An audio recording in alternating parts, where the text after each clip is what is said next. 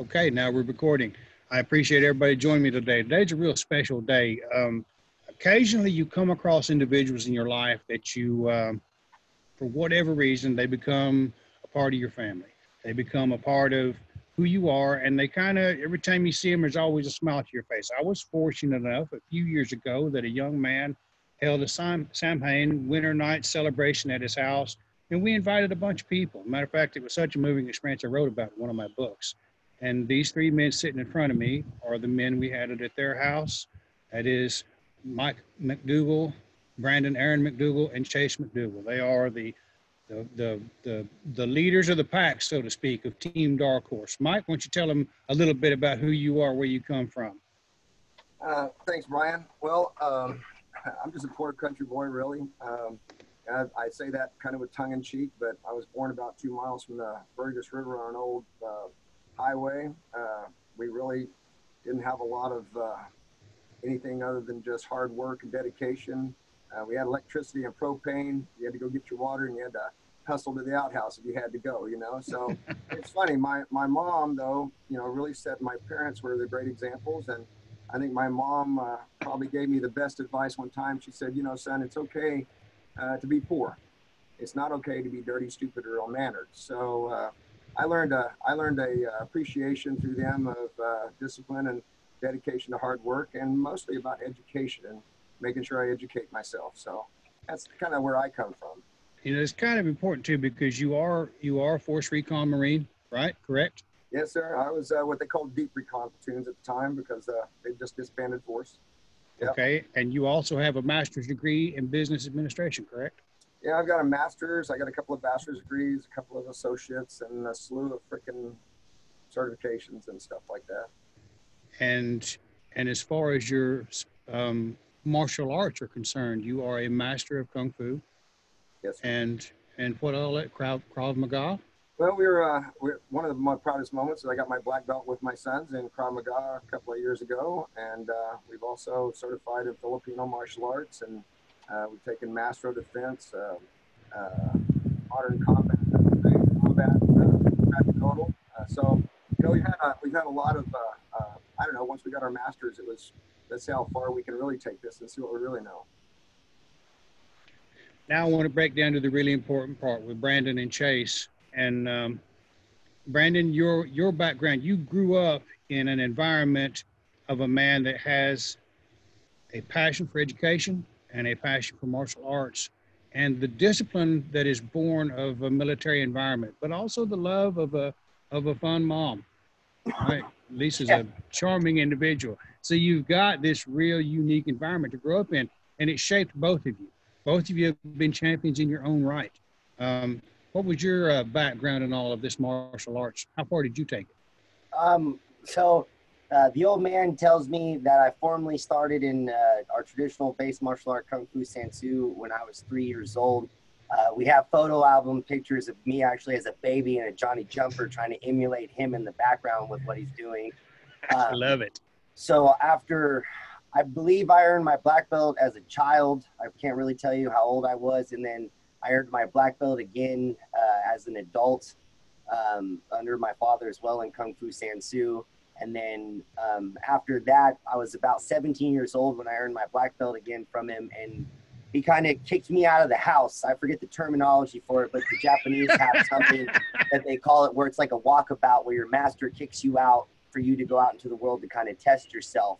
And that was probably around like 2005. And uh, I started after that going to different martial arts gyms and training in uh, Muay Thai and Jiu Jitsu. Um, so I started formally training in Brazilian Jiu Jitsu in 2005 um, under a guy who used to compete in the UFC named Matt Wiman from here in Tulsa.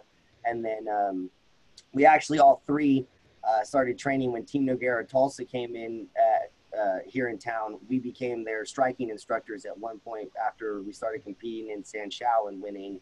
Uh, so I mean, my, my martial arts background is pretty extensive. Uh, I'm a now I'm a master in Kung Fu San Soo. Uh, we're all three black belts in Krav Maga, and then we're both uh, we're all three certified as level two instructors in Krav Maga, which means we're certified to teach military and police tactics uh, that they share from uh, Israel. And then we're also uh, we're all level one Filipino certified. I'm the only one who's level two certified in the group um, under our uh, ICSU uh, association. And then um, I have a uh, second degree brown belt in judo, a fourth degree purple belt in jiu-jitsu. Um, I was the first amateur Midwestern Sanshou lightweight champion and the first Midwestern regional Sanshou lightweight champion. Um, I've competed in kickboxing since 2008 up to about 2015. I have over 40 amateur and professional fights combined through Sanshou kickboxing and MMA. At one time, I was uh, the local uh, XFL uh, cage fighting lightweight uh, champion. Um, uh, I've been kind of inactive since about 2015 so almost about the last four years, um, where I started training in more tactical martial arts like the Krav Maga. And then in January, um, from a good family friend and former roommate of mine I lived with, uh, talked us into going out and trying to get certified in Mastro Defense, which has been primarily created by a gentleman named Fred Mastro out of Belgium. And Chase and I are now the only two people in the state of Oklahoma actually certified to teach it. Uh, so it's kind of been where we've been taking it right now. So like you said earlier, though, my dad, uh, you know, being from a military background and also a teacher, kind of experimented with us like good teachers would do, and found a way to kind of train us.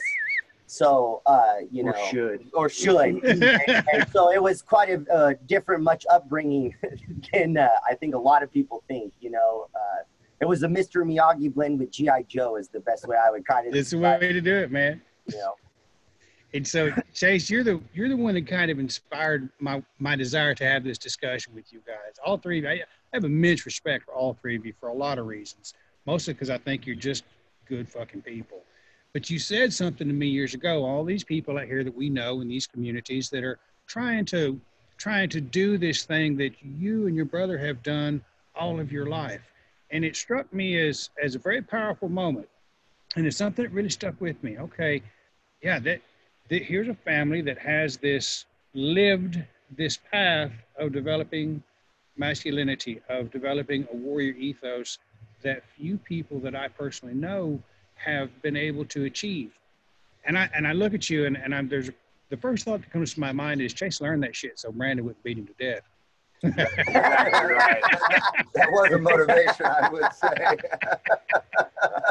but like, but like we were talking at one time, you were the uh, you you were number six. You were ranked number six in the central region of the country in your MMA career, correct? That's right. And uh, you have a similar background. Where's your forte in all of this? I've trained a little kung fu with you. And flipping awesome. That maestro thing was brutal, but it was fantastic. Um, yeah, that was a good. That was a good day.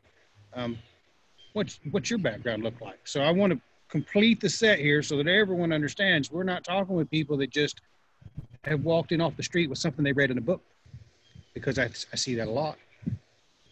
Um, again, my background, I'm a master in Kung Fu San Soo. I've been studying Kung Fu San Soo for about 25 years now. Since you were three. Yeah. and uh, again, black belt in Krav Maga, uh, certified to teach law enforcement and military. Uh, again got the training in Filipino martial arts and uh, certified maestro. I've got a uh, three stripe purple belt in jujitsu. Um, did extensive judo. I never got ranked, but I've done it extensively, especially a lot of no-gi. And uh, I wrestled all the way through high school, and I've just been really active with uh, martial arts in general my entire life. Never stopped. Uh, haven't fought in a while, but planning to rectify that here shortly. But your but here's the interesting thing: your wife just had a fight. Yes, she did. Yes, she did, and she uh, she's a really good warrior in her own rights herself. And uh, it's a uh, it's a tough household. yeah. So when you get a group of men that that that Mike, when you raise a, a couple of men, and I'm going to call that that term men as a solid foundation in this case you raise them up with this idea, this aspect, but you're also running a gym, a fairly successful operation from what I can tell. You keep the lights on, keep it running, you keep people coming in the door. When you're trying to build the discipline necessary to run a successful business. What's the best lesson you can give somebody that, that wants to make that transition? Everybody has that dream of being their own boss. But I think you're aware, as most people, that it takes a lot of marketing, it takes a lot of discipline, and you got to put some hard work in when other people are at home watching TV. Yeah, you know, I think the best thing I can tell people, something I learned probably through my parents, was best uh, brought to the bear by the Marine Corps, and that's uh, accomplish the mission. And first of all, know what the hell the mission is you're on. So many people, when they get into a business, they do it as a hobby. Really, they don't they don't really commit themselves. And you know, if you're really really going to do a business, then you know you need to understand that you need to do a business plan. And that business plan, there's models out there. You can get one off the internet. You don't have to pay anybody anything. We never did. Right. But you just you just go out there and you do your homework, legitimate, like they say, you know, and don't don't pull the trigger until you know you've got that in place. Now, I will tell you, when we got San Soo Tulsa, we've been um, supplementing Ms. Yoons, uh, then when it was Yoons Judo Taekwondo. Uh, hell, she'd been here since the 1990, and in 2011, she gave us about a 25 day warning that she was closing the place and retiring. So we put together a really fast business plan. My uh, nephew Steve Hill and myself, and you know, off we went. But um, you know, we were already being successful. We knew we had the student base to carry it and things like that because we've been here since 2007, uh, right. teaching classes and such. So, you know, I think that's that's really it. And you know, when you start talking about, you know, anything with your students or when you're talking about your sons, it's really about your boundaries and expectations. You know, uh, they'll probably don't fondly remember, but you know, when they were real little, they got to come out from the backyard to the front yard, but they had that driveway to that driveway, you know, and they had that, and then later it was that mailbox to that mailbox, and they they grew by mailboxes, and then whenever they effed up, it came back to the front yard, you know, type thing, you know. So that was funnier than heck. So, so, so we met, we met, we I guess we all kind of met in. Uh, at the Samide. I mean, we've kind of known each other. We've seen each other around. I think. I remember when the first time I came across you was Chase. Maybe it might have been with uh, with Logan and Mike McGonigal or something. It sure was, yeah. Yeah, I think it was out there at Mike McGonigal's house, wasn't it? It was at his wedding when you married them. Oh yeah, that's right. It was okay. What a trip! I forgot I. that's been a minute. That's yeah. funny, dude, man. Yeah, I did marry them, and I'm tickled with them too. I mean, he's I've known Mike is old for a long time. I damn near killed him twice, but I saved his life. Dangerous man in his own right. Yes. He is. He is that. He's double jointed in every joint because he got on my back one day and I grabbed his leg and pulled it all the way up to bite his toe, and he didn't scream at all. Yeah. you could have taken the toes and not heard a peep out of that guy. I know, right? Anyway, that's neither here nor there.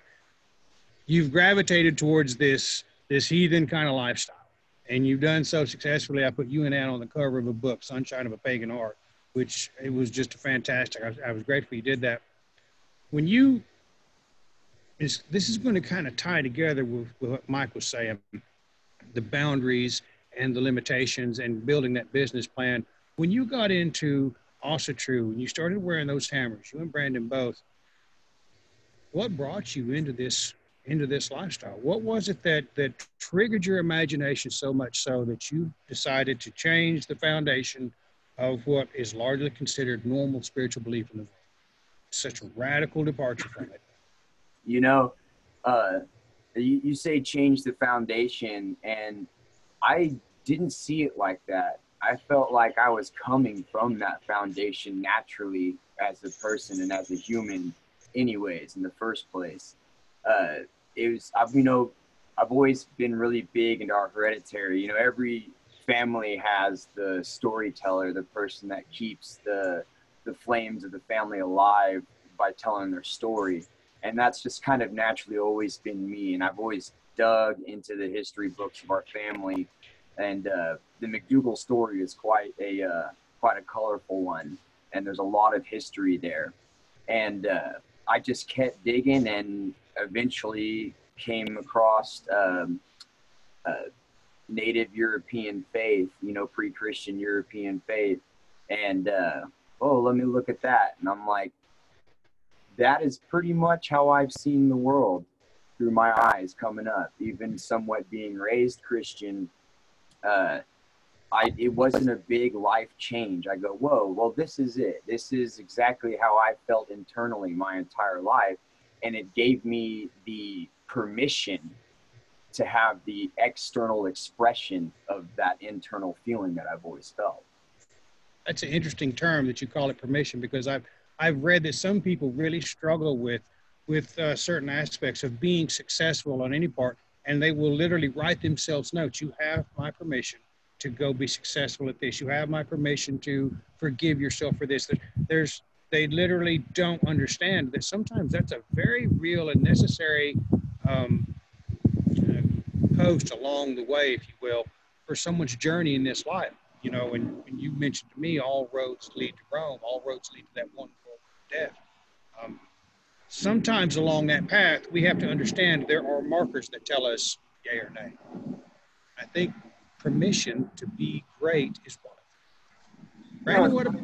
Yeah, if you will, just taking off of what he said there, we run into this all the time. We have people that come in here and want to excel or whatever. Maybe they've had an emotional significant event. That's why they're in here taking Krav Maga. And, you know, we'll look at it and we'll stop and say, hey, look, you know, you need to give yourself permission to succeed. And we do it quite often, don't we? Yeah, um, yeah. It's a common theme. Very common. Our uh, family motto in Gaelic is Buaidh no bàs, and that means conquer or die. And so to us, you, there is no other option. if you want something, I love it. you fitting. you Second know, place in war is death. Yeah, Yeah. yeah, yeah, pretty much. yeah. So, what about you, Brandon? What brought you into it? Was your brother's example? Um, I- I'd say a little bit of that, like uh, not to get into too much of a uh, bum story about some family history, but um, kind of as Chase alluded, um, we're about four years apart in age, um, and so my mother's, my grandmother, he's older and uglier. yeah, so he thinks. Um, anyways, my mother's, uh, my mother's mom, my grandmother was a very, very uh, religious Christian, and um, I, in my early days, I spent a lot of time with her and uh, you could say I drank a little bit too much of the Kool Aid. And um, so, uh, long story short, at the end of her uh, time leaving this world, um, it left a giant void uh, in me. And due to some things that had gone on behind the scenes in our family, um, it really put a very bad taste in my mouth about the uh, faith that I had worshipped basically for my whole life. And it left me for probably the first time with no answers that somebody had wrote in a book could uh, resonate in me to find you know a way out of that uh, I guess dark place I was in, and um, that was kind of a little bit after that time uh, and through fighting. I kind of realized that I was kind of considering myself to be more of a realist, as I put it, because if you punch me in the face, it hurts. If I punch you in the face, it hurts as well. So I understood that, and that was real to me. And then um, Chase was kind of getting into it at that time, and um, he actually showed me the nine noble virtues.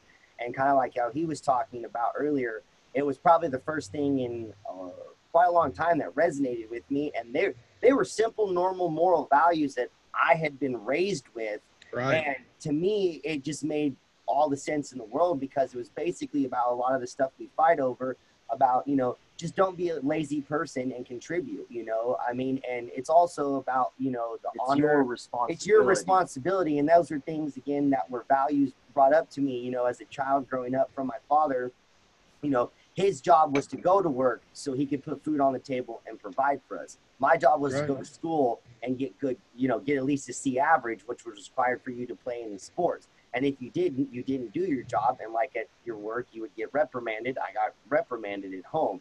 So you know to me reading that uh, really kind of coincided. And then uh, the more i kind of dove into it and um, we started actually uh, ritualing um, you know um, i thought it was very appropriate how my mother nicknamed me as my fight name the storm because she said as a child nothing man-made or in nature could contain me and my fury and so um, at one of our very first rituals, um, it was kind of crazy as we all started uh, getting real into it. Um, my nickname really kind of came into play at how at my part. Um, I basically called the storms, and so from that day forward, um, I kind of just realized that uh, you know this is where I should have been and what I should be doing, and so here we have been ever since. A welcome addition indeed. so I do want to touch upon your your success. See, so many people when they come into heathenry or when they approach Asatru, like you were saying, with a business, with a business, there's a goal. You know what you want to achieve. You know what you want to become. You know cash flow. You understand the taxes you're going to pay, what you can write off. You understand hiring employees. There's a very set set of rules as to how to be successful. There are literally millions of people that have done it. You can get it for free online. If you follow those steps, you too will enjoy that same success.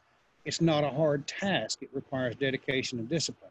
When you come into a new faith, you come into that, I think by and large, we fail to create that image of what we want to become.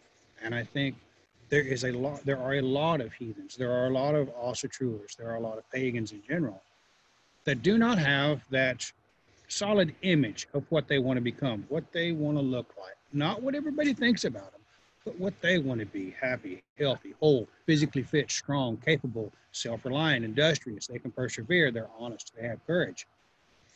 So when I see you two gentlemen, you three gentlemen, roaming around, living good lives, working hard, uh, I know for a fact you guys work all day long and then you get off work and then you go into that gym and you train all night long, every night, six days a week most times. Um, that's the kind of commitment that I don't see a lot of our fellow heathens wanting to put forth to be successful. They haven't given themselves permissions, but I think more often, the more accurate term is that they're sabotaging their own success. That's a fact. Yeah. Yeah. So what kind of image, if you're going to leave, I mean, both of you are fairly young, but Mike, you've probably got some idea of it as I do, what kind of legacy I'm going to leave on And I'm sure that you guys kind of have an idea of what you want to leave on the world.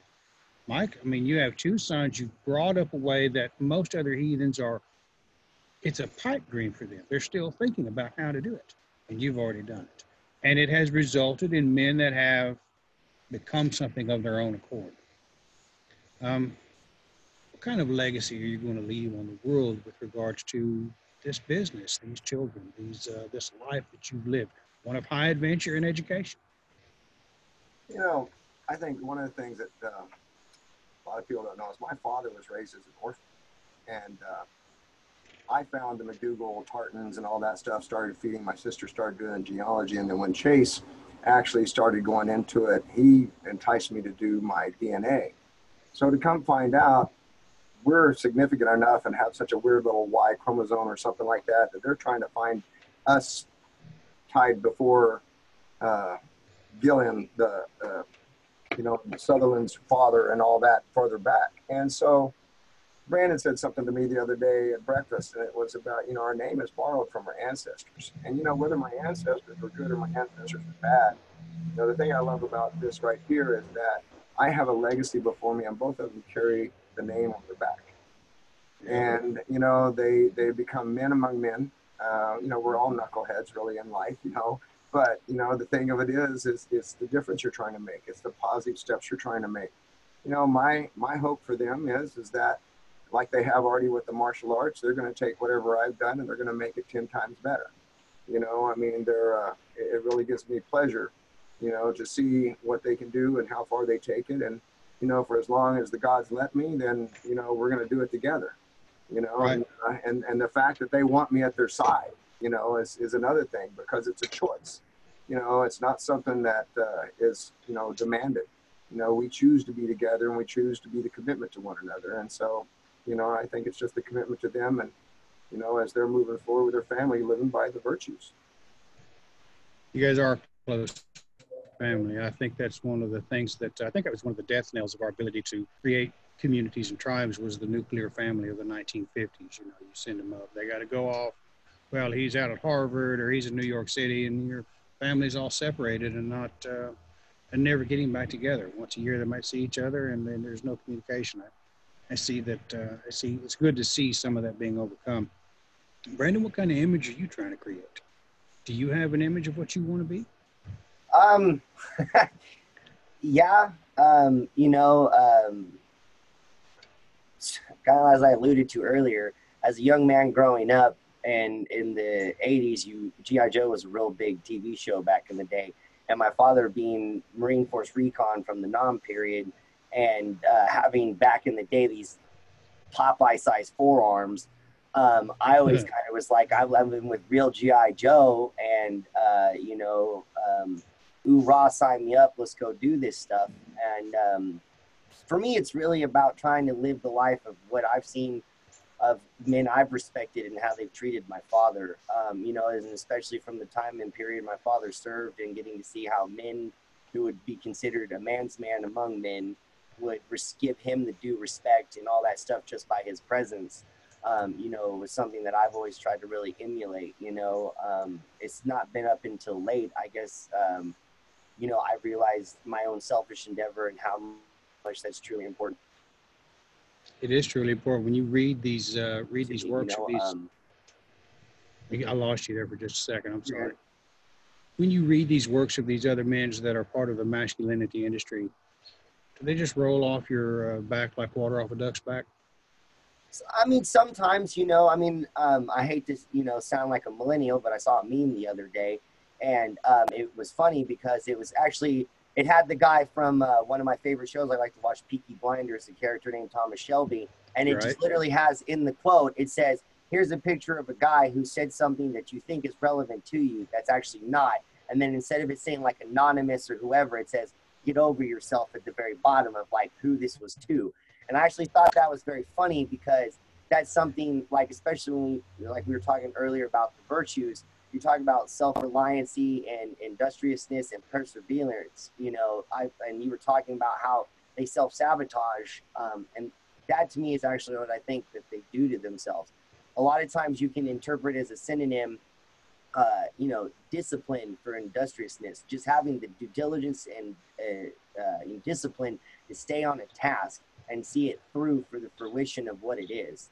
Um, you know, and that's been my thing is is that um, you know something that also my father's told me a long time ago that I've always kind of uh, never truly believed for him is something that I wanted to emulate myself. I don't want to be forgotten, you know, and he says that he won't be forgotten because of his legacy. And to me, that's a fallacy because for as long as I live, my story is wrote because of the name I've borrowed from my ancestors and my father that was given to me.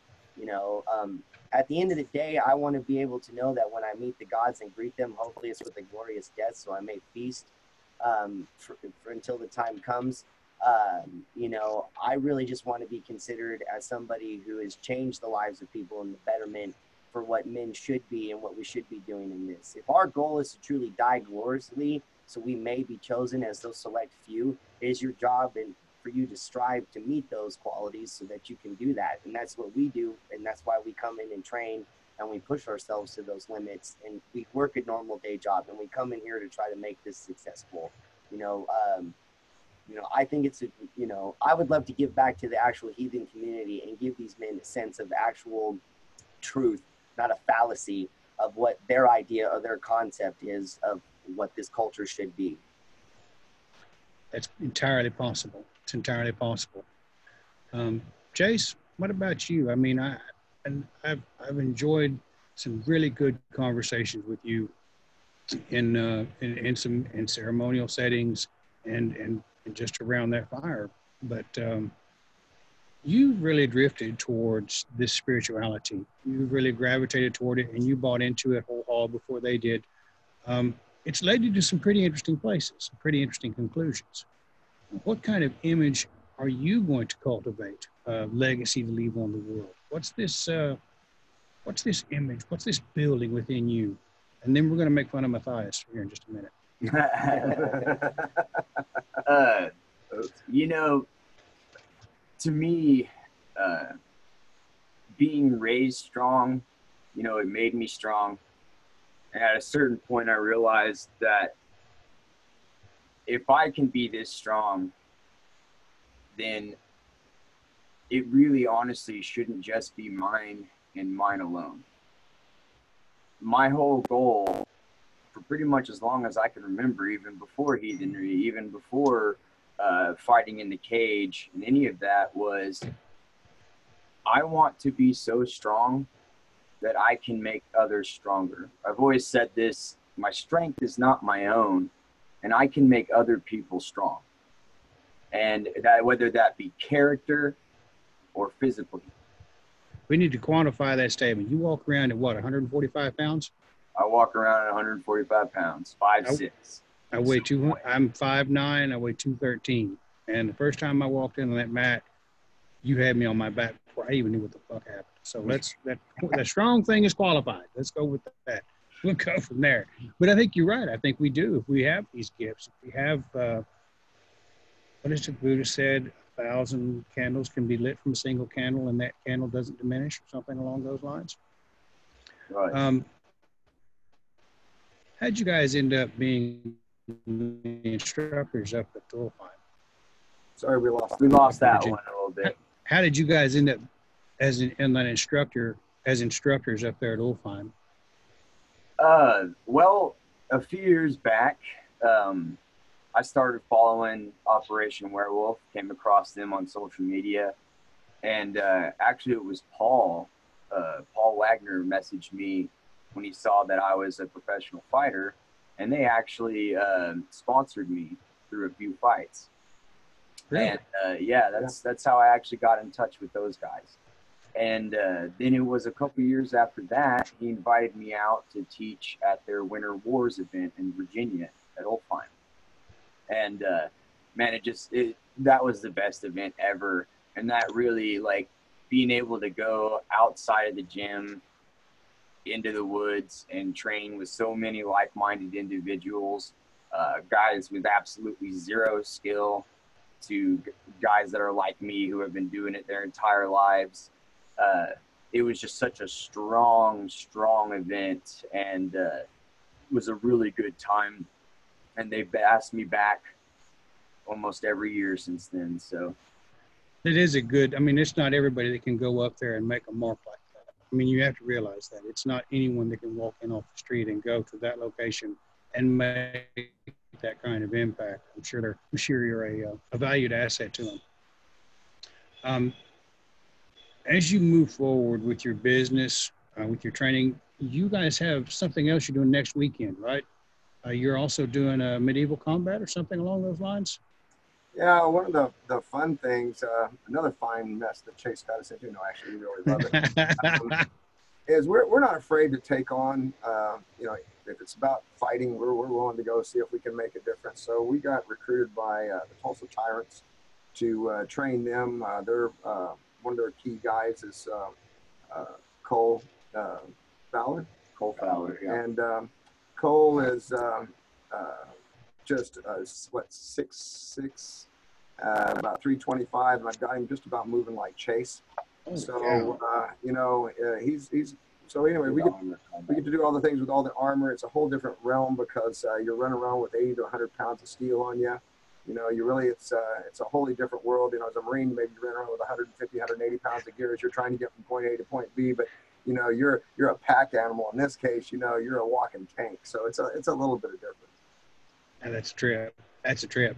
And this, what is so? Is it? Are you training this guy? Or are you guys actually competing next weekend? Well, Or is it- actually, coming Is it even here- next weekend? Uh, no, it is uh, basically they're they're not for a little bit here. We have uh, um the next really one coming up is the gentlemen here are doing one on um uh, October 19th. Yeah. Which will be a Fred third, Masters, uh, another Fred yeah, Mastro level one. yeah. Uh, November 9th, we have Warrior Forge coming in. They're another ICSU certified group. Really powerful for women. Uh, they empower women uh, to get out. You know, we've done a lot of self defense for women, and we find that a lot of women, when they uh, when we're in those, we touch on their nerve, and it's hard for them to have men in the room. So this is kind of like a good step if you've got you know for the ladies to get out there and get empowered so they can take that next step because you know they got to realize that sooner or later their predator is probably a male. The um, you're absolutely right. I have a student in the Gothi program in South Africa. He said that where he lives, one in 40 cars is hijacked, and just north of him, one in 10 cars is hijacked. Um, so, the kind of thing that you're teaching here, uh, everybody wants to think it's all far off. You know, it's overseas. It's not happening here. But then you see something like going on in Minneapolis, where random gangs are walking around attacking solitary individuals um, with little to no warning. And women are a prime target for most of that. So that seminar is coming up when? That'll be October, November 9th. Uh, November that, 9th. That particular one will be November 9th, Saturday. It'll be from 9 to 12. It's on our website, sansootulsa.com. You can Right. find it out there, and we'll have the master out there pretty quick, too.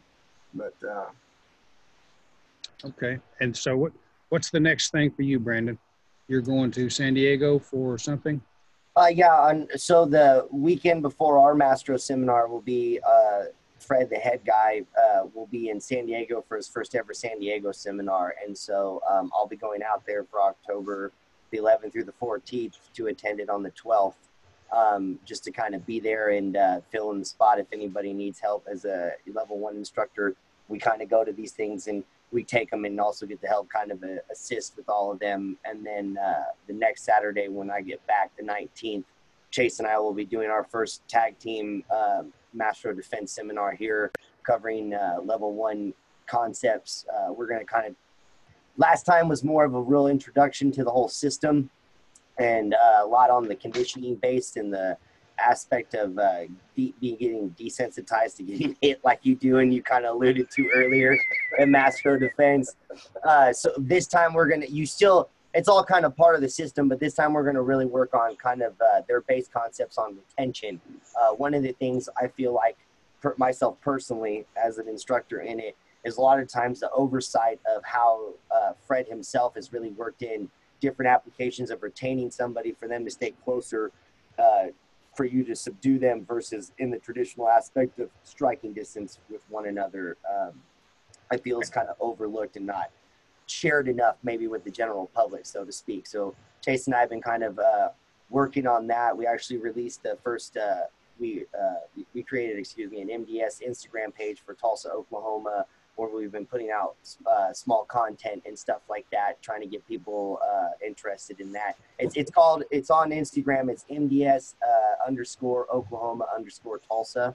Uh, we have Okay. one video out. Uh, we have a few photos and uh, we actually just shot some more videos last week that we're going to try to release uh, one every couple of days to kind of just let everybody see some of the stuff. Uh, a lot of it's just some of our fun techniques and us playing with it uh, more closer towards the seminar. We'll kind of let out a little bits of some tidbits of what we'll be kind of going over and sharing to kind of get everybody, uh, you know, tantalizing over the seminar to come. Well, make sure you tag me in that stuff so I can share it across my platforms as well. for sure, for I was uh I was one huge pink belly when I got done with that. But I got to tell you, Darren had just come home from the army, so that was like the first time I got to spend any time with Darren since he Wow. since he'd been gone in Germany for three years.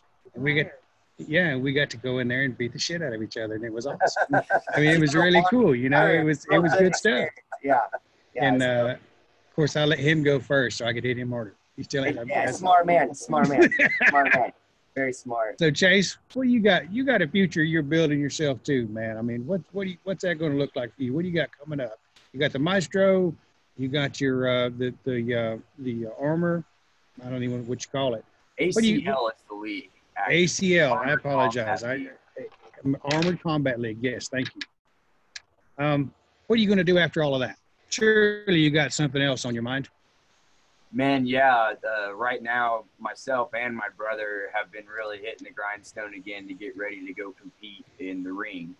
Uh, I'm thinking about doing a kickboxing match because I have yet to kickbox as a professional yet, and uh, I'm really looking forward to that. I'm undefeated as a kickboxer amateur, so I'm really looking forward to going and putting that to the test on the pro circuit. Um, it's been a while. It's been at least three, almost four years. We've been really studying the Krav and the Mastro and the Filipino martial arts, and uh, it's time to dive back in there. You know, I'm still. I think so too. I'm still young. He's still young. You know, that ain't gonna last. And the last thing either of us want to be is gray and regretful. You know, Yeah. I've still got a lot to go. Let me tell you how to deal with that. You just change the goalpost. there you go. well, I think I'll go write a book. You know. or maybe several. yeah, yeah, there you go. Yeah, I tried it. Did it? Been there, done that. Well, just average. that's the that's the hardest thing to, to to bite into, guys. I want to tell you that that you know that's why you're an inspiration for a lot of people that you're not aware that you are. And I'm kind of hoping this video shares that because people will settle for being average. They will settle for just the regular routine. And there's Hold on, I gotta spit. go ahead. You know, you know, Bryan, one of the things that but uh, you know what I mean. I mean, That's funny. You know, Bryan, one of the things I think you're, you're, you're, we're touching all around too is like you're talking about your business model or whatever, right? So Yeah. at San Soo Tulsa, you know, we, we look at the martial arts world pretty much as three different types of schools. And granted, anybody could probably break this up, but you know, you've got you got your martial way school. They're your taekwondo, your karate schools. They're great. They teach your kids discipline and stuff like that. But it's kind of like it's uh, the function of a baseball bat. It's really for sport. You know, they watered it down today. They, you know, to keep it, you know, so that they don't, their liabilities are in there, and their whole goal is to sell memberships, you know, and things like that. You know, uh, you all, then you have your um, competitive martial arts schools, and you know, you got some badasses there. They're your boxing, MMA, Muay Thai, you know, all that kind of stuff. And like Brandon talked about the other day, that's where we try to take it another step forward. Is that we really identify as being combat martial arts. And you know, we've gotten a lot of hooey from our San Soo roots and a lot of things like that because we we believe in having discretion and being able to bring things down. Because one of the things when I got out of the Marine Corps, I went criminal justice. I worked in the Federal Bureau of Prisons for two years inside maximum security prisons. I'm five foot. I'd like to say six, but uh, you know, and uh, and one of one of the things that cracked me up was uh, one day when the the uh, duty sergeant looks up and says, "Okay, we're having some issues with some guys." He says, "When they decide to go through MAC, here's what we're going to do."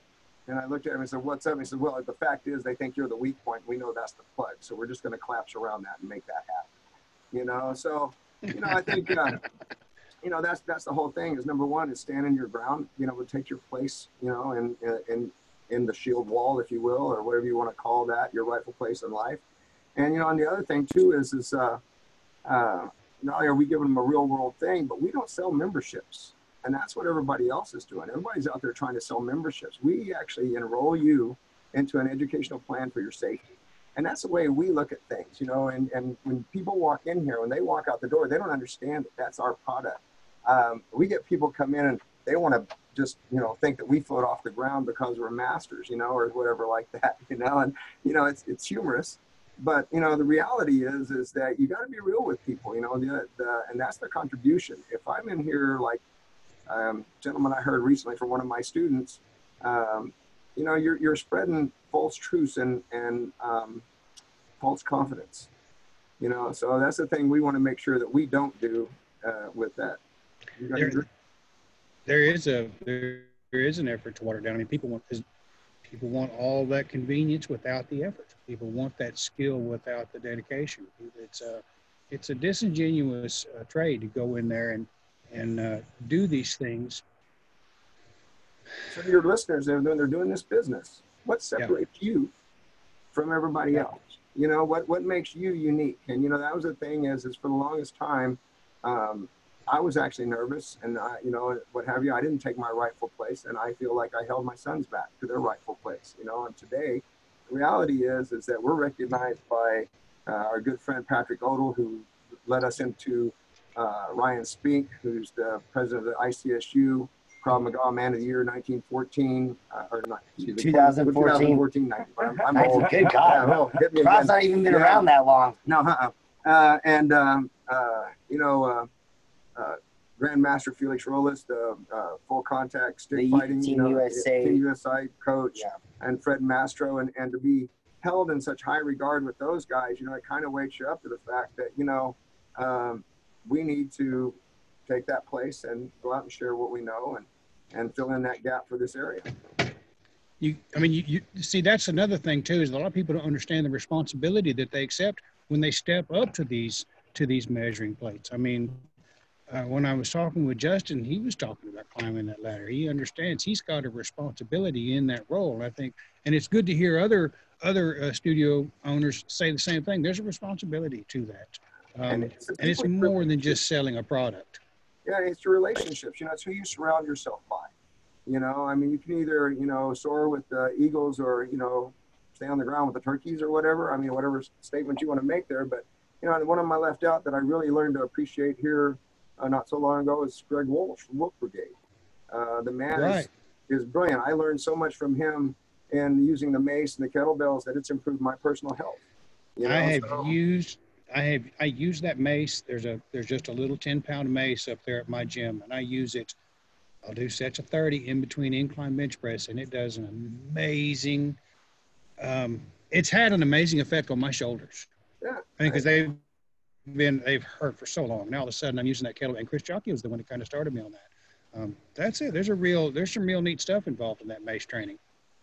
Yeah, and it's just you know, the thing of it is it's his commitment too. The thing uh, I love about the guy is is it's no bullshit. When he comes in here, you know, you do it this way, and this is why.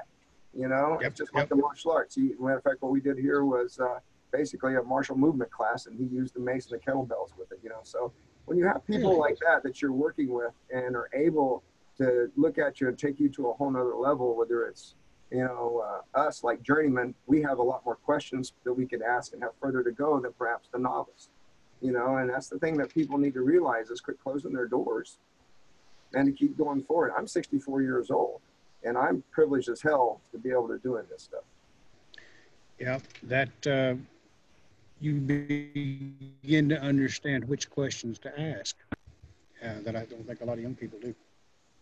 Well, guys, I, I really appreciate your time. Is there anything else you'd like to promote or like to add to it? Um, man, uh, if you're watching this and this inspires you, just go reach down and take it. It's yours. You know, you can be badass too. Like, strength is inherent in the human experience. And if you dwell in weakness, then that is your fault. That's exactly right, man. Human body's an amazing machine. The more you work it, the stronger it gets. Every other machine breaks down. Yeah don't run from the stress you know you need a crucible the crucible is how we get through it in a one hour martial arts you know um, especially if you're studying some of the things that these guys like to throw at you you're going to have your ups and downs and your uh, exhilarations and your you know oh shit moments and everything so you You're know funny. They don't throw stuff at you. They throw you. Uh, which I I had to go do it because I can't sit around and talk this if I didn't let these guys throw me around. Yeah. You got to get in there and feel it, man. And it's a, it's a good stuff, man. It's good stuff. I, I will say that those few times that I've been up there have always been rewarding, and it had it still has had. A, I took Scarlett up there, and it had a, a positive impact on her too. Um, she at a young age, because of you guys, began to understand she was work capable of more, and that was uh, that was important to me. Uh, and I appreciate I appreciate that effort on y'all's part, and that dedication. Uh, you have a lot of champions coming out of there. Team Darkhorse is obviously going to enjoy a lot of success. Um, keep us all posted on what you got coming up. Feel free to share it, and we'll spread, we'll spread it across these platforms. And then someday, I'd really like to get you guys up to the Jungle Gym in the Bronx, and uh, man, just take him down a notch, dude. Just so I can- Justin Garcia, Master Chim himself. Master Jim's a bad motherfucker. You watch Yeah. He is, man, isn't he? He's he's no joke, man. He, but I love him to death. He's just I, I had the opportunity to talk to him for a little bit before we did our, our first interview, and he just he's an awesome cat, man. But anyway, I, I really like to see that because I think it's really good because we're seeing a unified kind of message from two widely disparate platforms in two different geographical locations talking about being and developing and cultivating that inner strength and being men. And and you see it um, in heathenry that and that's I think it's important because I think we're beginning to comprehend that it's more than just a goal. It's a it's a it's a journey. I mean, It is. it, it's just a constant journey. Your trials at 64 are different than Chase's at 26, right? 28, actually. 28. Okay. Yeah. Man, uh, one more thing. Uh, if you or your tribe are interested in learning the martial arts, your kindred, whatever your group may be, if you're interested in learning real world martial arts, contact us. You can get a hold of me on my personal Facebook page. I run a page on Facebook called Warlord Society Yes. And you can contact us on the new MDS page on Instagram. Uh, just send us a message. You can also send an email at www.sansootulsa.com. and uh, we'll come out, man. You know, we'll We're all about trying to share this. gathering and you know, teach you. We want to share this with everybody and let them all know, you know, that like you keep talking about how much more capable they are. You know, um, I really think most people are afraid of the failure more than the risk, but without the risk, you can't get the reward. And also, with failure comes learning. I hate to admit that, but you know, the It's true. you have to repeat is failure is or That's big fail. for you. You know, yeah, it's the first attempt in learning. Uh, you know, and you have to get out there and you have to do this. You know, uh, I, I can't stress it enough uh, how spiritual it is to actually get out and do something physical with yourself and challenge yourself physically as much as it is to just have blind faith in something. It really is. I think that's one of the uh, one of the. I've long contended that one of the things we were suckered with was that we began to believe that the best part of who and what we are originated out there. Right. And now all of a sudden we're in this spirituality and this faith that's tell, reminding us that no, that greatest part of who we are is right in here.